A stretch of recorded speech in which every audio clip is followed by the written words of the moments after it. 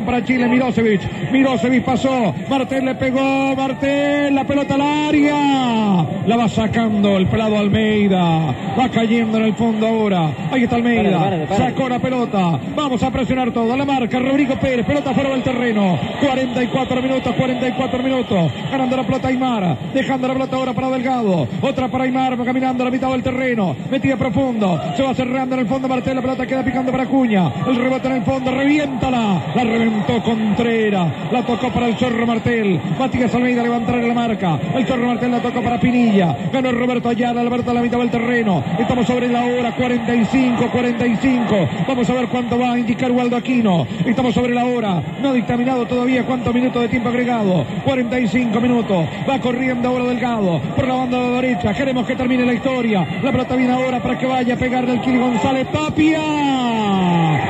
La gente se coloca de pie de Chile, señoras y señores. La gente se pone de pie. Dos por dos el partido. Está por terminar. Está por concluir el partido.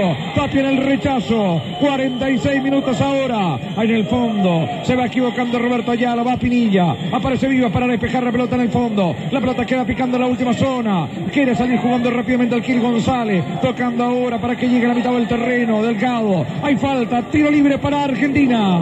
El árbitro sacó dos tarjetas rojas. ¿Y cuándo saca la tarjeta Sodimac? Por cada 10.000 de compra con su tarjeta Sodimac, participe en el sorteo de uno de los 15 viajes a Buenos Aires. Es el juego de los mejores desde Buenos Aires con Lusinger. Estamos en el minuto 46. Cinco minutos total. Cinco, minutos. Así me decían, estaban señalando cinco minutos de tiempo agregado. Restan cuatro ahora. Apunta el minuto 31 al Kili González, 35 para Mara. Mara. Sebastián. Señor. Lo expulsaron a Oyarzún en el lío que vio usted con eh, Ubaldo Aquino. Era Oyarzún que había insultado al árbitro por la expulsión de Álvarez, así que el preparador físico se fue a los vestuarios. Gracias, Pato Muñoz. Es todo el equipo de W Radio trabajando. Va el Choro Navia, cerrándose vivos en el fondo. La pelota viene ahora para que tome contacto. El Kili González va a cortar la frontera, se va limpiando el camino. Falta de Navia, cuidado, lo va a expulsar. Lo va a expulsar, lo va a expulsar a Navia, lo ha expulsado a Navia. Expulsado a Navia por el golpe al Kili González. No tengo la visión ahora de Sarriá, pero me puedo quedar con Norambueno y con Bianchi en la capital. Sí, señor, es Navia el que se va expulsado. Un foul por detrás de Kili González. No tenía tarjeta amarilla. No, no tenía, Navia. no tenía. No tenía. Me parece un tanto exagerado por el dolor de la falta. El juego de los mejores en W Radio. Se va Navia. Luego Eduardo Guillermo Bombaleta al término de los 90 minutos. 2 a 2 el resultado. Restan todavía 3 minutos, señoras y señores. Estamos en 47 con 30 segundos. Ganando la pelota de Alessandro. Pero todo de nuevo dice Ubaldo Aquino. No había abandonado todavía Navia. La pelota la debe jugar el cuadro argentino. Metió de Alessandro la pelota, la va tocando para Matías Almeida. Almeida va dejando para Zanetti. Zanetti va tocando la pelota ahora para el número 21. Ahí está Delgado. Abriendo por derecha Delgado. Un centrito. Tapia recoge. Recoge el guardapalos Tapia. El golero de Chile es el propietario de la bola. Vamos chilenos a cantar. Vamos la barra a cantar acá en la cancha de River. El partido está por terminar. Estamos sobre 48 minutos. 48 minutos de la parte final. Disco duro, suministros, monitores, impresoras, cartridge. Recuerda este nombre, Sumadata, todo en computación. Sumadata, www.sumadata.cl.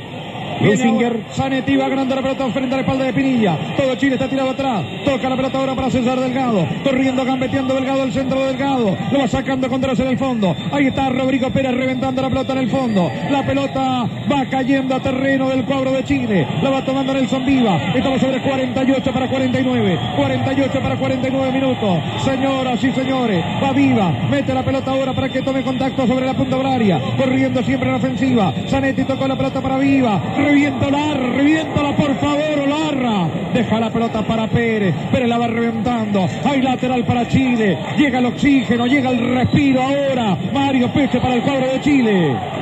Estamos en W Radio con el juego de los mejores. No aceptes copias, solo un auténtico 16 horas. Se ve, se siente y se camina como un 16 horas de Panamá Jack Lusinger. 49 minutos y en Argentina va a llover. En Argentina va a llover, en Buenos Aires va a llover. Va a llorar Argentina. Están empatando 2 por 2 por Chile. La pierna arriba de Viva. Tiro libre para el cuadro de Chile. Cuando las turbinas de un avión del porque aquí muy cerca irrumpen como presagiando que se viene la tormenta para el cuadro de Argentina. Está 2 por 2 el partido.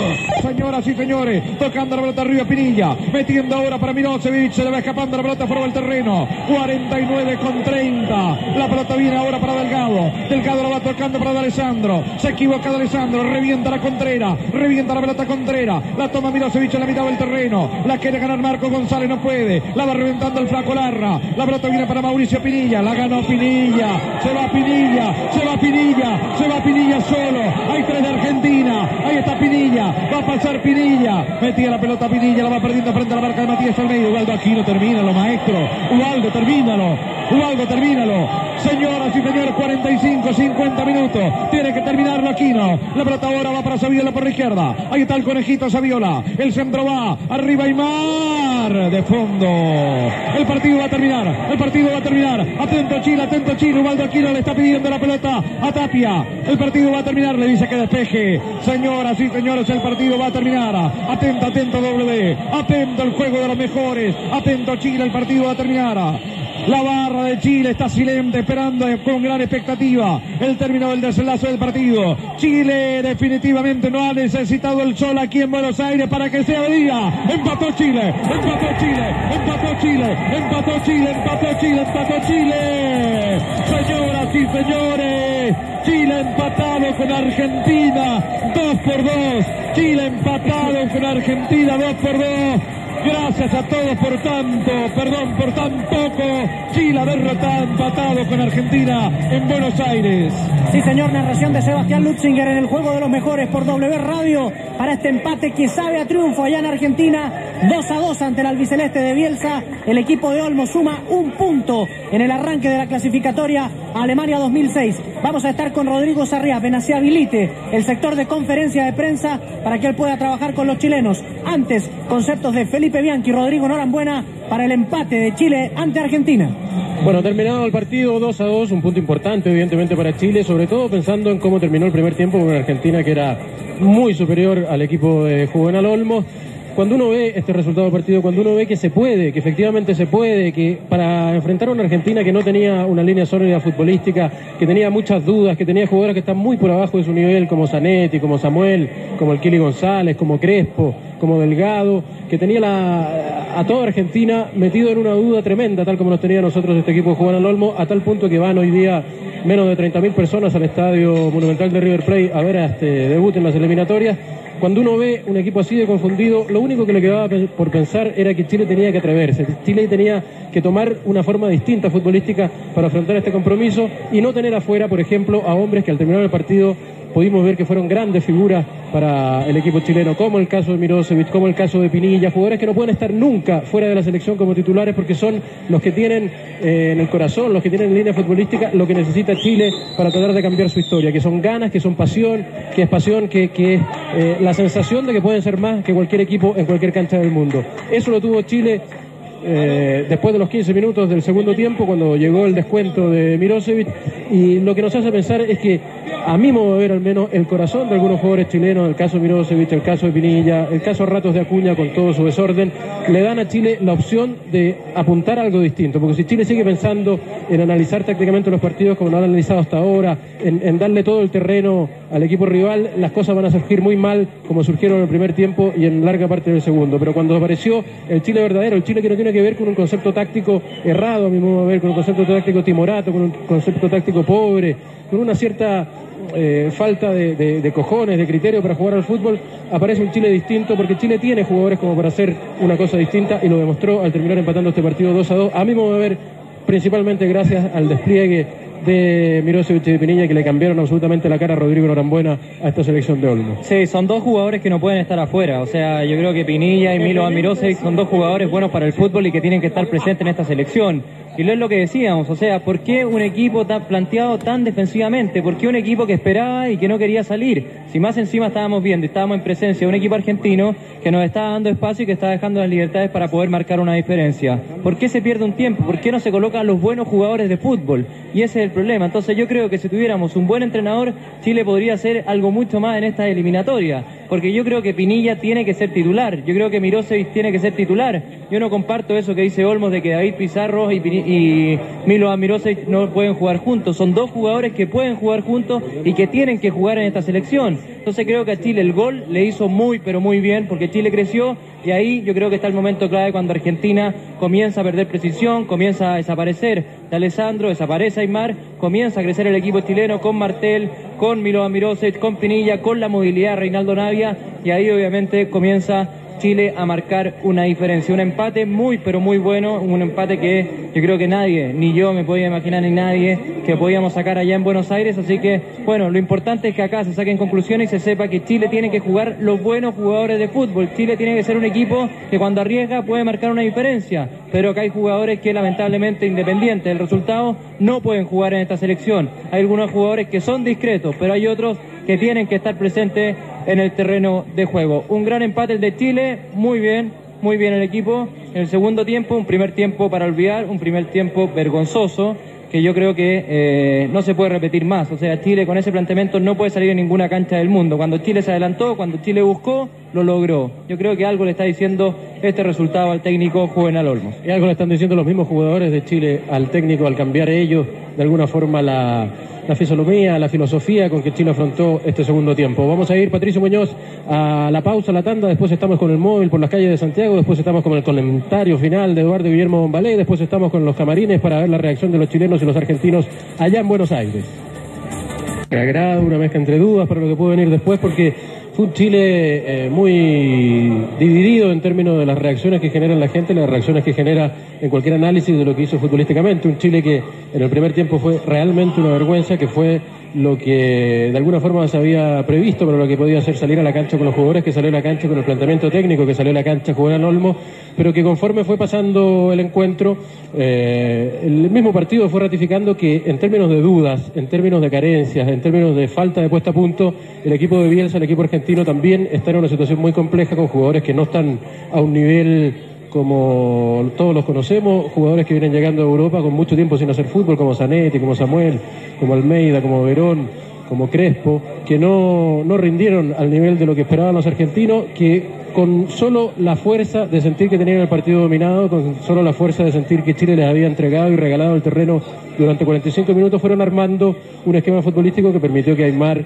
eh, a los 31 minutos el Kili González, primero después Aymar, establecieron 2 a 0 que era justo para lo que habíamos en el primer tiempo. Después en el segundo, cuando Chile se atrevió, cuando Chile pensó no sé si razonadamente desde su banca, desde su cuerpo técnico, pero sí desde el corazón de los jugadores que estaban en la cancha, que esto se podía dar vuelta, cuando pensaron que en el fútbol hay que pasar al otro sector, si es de perogrullo, hay que pasar alguna vez al otro sector para tratar de aspirar a algo y aparecieron Mirosevic y Pinilla para demostrar con una nueva fuerza, una nueva generación de futbolistas que esto se podía dar vuelta, terminaron dando vuelta un partido y sumiendo a Argentina Rodrigo Norambuena en una confusión futbolística que lo llevó a dejar dos puntos en este inicio de eliminatorio. Sí, exactamente, pero acá lo que queda manifiesto y que queda claro es que hay jugadores que tienen que ser titulares, o sea, hay jugadores como Pinilla, como Mirosevic, como David Pizarro, que tienen que jugar, los buenos jugadores tienen que estar en un equipo, o sea, por más que el planteamiento sea ultra defensivo, todo, acá el fútbol se juega con un balón, y Chile cuando jugó con el balón causó daño en el, ante el rival argentino, entonces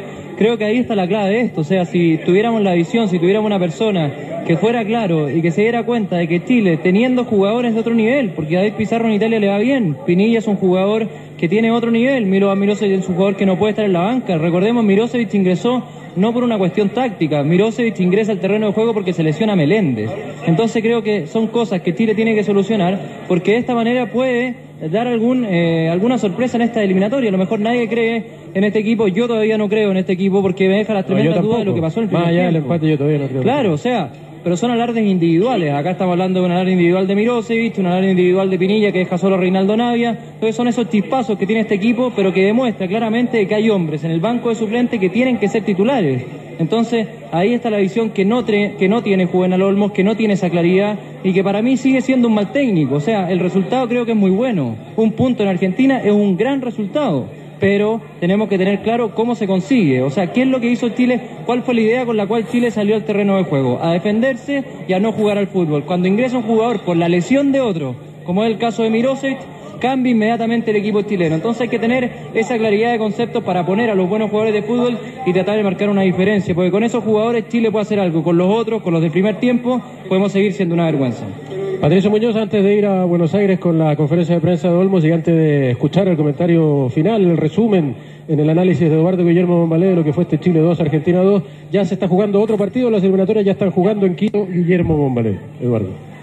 Bueno, primero que nada, eh, este es un partido difícil de comentar por la sencilla razón de que nuestro general en jefe demostró en los primeros 45 minutos lo malo y lo ratón que es. Él habla de un cambio en el primer tiempo. El cambio se suscitó producto de la lesión de Meléndez. Y ahí entró Mirosevic. Mirosevic convirtió un gol. Los cambios se suscitaron en el segundo tiempo, producto del el baile que nos estaban dando los argentinos. Ahí se suscitó el pase de Acuña a Mirosevic y también el pase de Pinilla a Nadia. Como demostración para todo el pueblo chileno queda, mientras sigamos siendo ratones, no vamos a llegar a ningún lado. Mientras nos atrevamos, podemos conquistar el éxito. Para atreverse, hay que poner delanteros. Para atreverse no es una cosa de nombre de Vinilla, ni de Nadia, ni de Marcelo Salas. Es una cosa de poder y querer. Y nosotros tenemos un técnico que no quiere, no puede, y además, en estos instantes, lamentablemente yo tengo una forma de pensar. Yo no celebro los empates, y menos contra los argentinos. A los argentinos yo les gano. A los argentinos hay que obligarlo.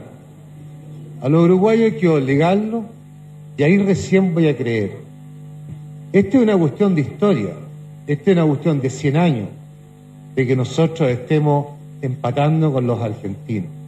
Me acuerdo cuando Chile ganó Brasil 3 a 0 en el Estadio Nacional y algunos me bifiaban a la salida y yo me cagaba la risa porque yo decía, este pelado queda igual eliminado. eliminado. Les tengo que decir, y con mucha pena, a todo el pueblo chileno, que este equipo igual que eliminado. Y lamentablemente, nosotros, o sea, ustedes, nunca han podido desmentirme. Cuando un equipo no tiene fútbol y solamente gana por puros huevos de sus jugadores, de sus jugadores en el segundo tiempo, es muy poco para clasificar un mundial. Cuando tú tienes la obligación de hacer cambios obliga, obligatoriamente para revertir una situación, es porque nunca lo tuviste claro y estos siete meses porque no aprendiste nada. Jugamos contra la selección de Argentina y ustedes están conscientes en mi comentario del entretiempo que dije, a los argentinos hay que atacarlos. Es la única forma de doblegarlos. Se les atacó más o menos, se les atacó con huevos, se les atacó con las ganas y el ímpetu que tienen los jugadores de fútbol, sin ningún sistema táctico, sencillamente porque querían doblegar la historia. Este es un empate que ahí comparto con el perro verde, que dice que es un empate que se lo merecen los futbolistas. Es un empate que se lo merecen los futbolistas, pero en estas condiciones, nosotros jugando al contragolpe, nosotros jugando a lo que salga, nosotros haciendo cambios obligatoriamente, nosotros haciendo cambios porque un jugador se lesiona, estamos condenados al fracaso. Los equipos de fútbol se conforman de lo mejor que uno tiene. Ningún entrenador deja a buenos jugadores de fútbol en el banco. Este es el único entrenador que deja a los mejores en el banco. Por lo tanto, no le veo posibilidades que en tres días más para ustedes les quedará, les demostrado cuando en Chile, enfrente a Perú, Chile tenga que salir de su derrota, de historia de jugar de la mitad del campo hacia atrás, en un sistema de operación murciélago, cuando tenga que salir a emprender y obligar, doblegar a la defensa peruana y aguantarlo su toque, el toque de Jayo, el toque de Segarra, el toque de Pizarro, el toque de Hidalgo, de Palacio, de Solano. Ahí es donde yo quiero ver a Chile, jugando de igual a igual. Estos empates, para mí, no me indican absolutamente nada. Ustedes abrácense, celebren. Yo, weá, no celebro. Yo celebro copas, celebro clasificaciones y copas del mundo. Lo demás es para seguir escribiendo libros de 100 años que no valen absolutamente nada. Felicitaciones a los jugadores, menos al cuerpo técnico. Ahí estaba entonces el comentario final para el partido Chile 2, Argentina 2 en Buenos Aires, Eduardo Guillermo Manés, en el juego de los mejores de W Radio. Patricio, más novedades en Buenos Aires en el camarín de Chile. Déjeme preguntarle a Rodrigo Sarriá si es que ya está en condiciones de salir desde el sector de la zona mixta donde los jugadores debían estar camino al bus que los iba a llevar al aeropuerto. Rodrigo. Estamos apostados en este lugar, eh, Patricio, pero eh, los jugadores de la selección chilena todavía eh, no salen desde el sector de los vestuarios. Eh, Juvenal Olmos ya está terminando la conferencia de prensa y me imagino que eh, después de que llegue el técnico al interior del vestuario van a salir todos porque tienen que tomar el bus que los espera para trasladarlos hasta el aeropuerto internacional de Ezeiza. Perfecto, ahí estaba Rodrigo Sarriá contándonos eh, de la situación que se vive en la zona mixta, donde esperan que pasen los jugadores de Chile. Nosotros vamos a hacer una pausa y luego vamos a volver a pasar por eh, nuestro móvil en las calles de Santiago y también eh, vamos a seguir con Rodrigo Sarriá, seguramente ya con los protagonistas de este 2 a 2 entre Chile y Argentina. Ya volvemos.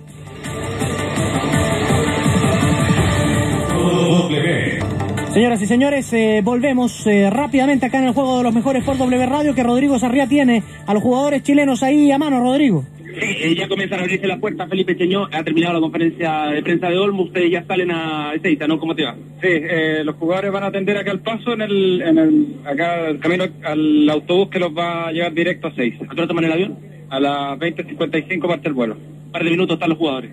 Así es. Bueno, eh, segundo solamente para que aparezcan los jugadores de la selección chilena de fútbol. Recién se abrieron las puertas, eh, asomó incluso Alex Faras, eh, ya están todos vestidos eh, para poder eh, hacer el tránsito hasta el eh, bus que lo trasladará al aeropuerto. Perfecto, nos vamos a quedar con usted Sí. ahí en ese sector para que nos describa la salida de los jugadores y pueda eh, entrevistar a todos los que estuvieron en este 2 a 2 ante Argentina. Sí, comienzan a salir. Eh, es Tolosa el primero en eh, romper la puerta eh, de acceso al vestuario visitante de este estadio monumental de River. Eh, ahora es Blaven Canales quien también aparece. Cristian Álvarez eh, ya en condición de poder eh, traspasar esta línea que nos divide con eh, los medios de comunicación. Hay mucha prensa, hay mucho periodista extranjero. eh, también no son pocos los chilenos que están eh, tratando de pesquisar alguna información de los jugadores nacionales. Vamos a escuchar a Héctor Tapia, eh, el jugador que fue reemplazado, y esto es lo que declara el integrante del plantel del Lille de Francia. Escuchamos a Héctor Tapia por W Radio en directo para todo Chile. Eh, lo más importante ahora. ¿Pensaron que llegar la cancha este resultado alguna vez? Eh, Teniendo en cuenta la adversidad. sí, sí, bueno, igual creo que en cinco minutos Argentina aprovechó muy bien estos cinco minutos, pero después Chile siempre fue muy parejo con Argentina en estos dos partidos, así que eh, lo importante es y ¿Cuánto significa? Bueno, es eh, todavía un poco complicado eh, poder tener tranquilidad para conversar con los jugadores. Eh, voy a desplazarme e intentar eh, tener una charla eh, un poco más tranquila con eh, los integrantes de esta selección. Es el turno de Cristian Álvarez, el jugador expulsado, eh, una de las buenas figuras a lo largo de los 90 minutos. Vamos a pedir la colaboración para, para poder escuchar a Álvarez. Escuchamos al defensa de la Católica. ahora vamos a empezar a pensar nada más que en Perú y que el martes se llene el estadio. Aquí se ayuda mucho a la gente y, ojalá que la prensa, la crítica eh, estén un poquito más, no sé, que, que se tranquilicen un poquito más, que sean mucho más positivas. Necesitamos mucho vibra positiva y que ojalá que nos acompañen.